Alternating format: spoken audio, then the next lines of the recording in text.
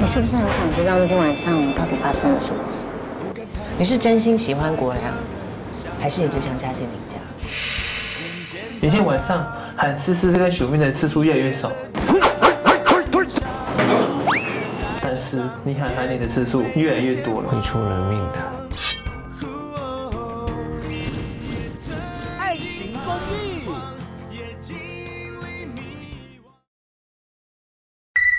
立 TV 立式线上影视。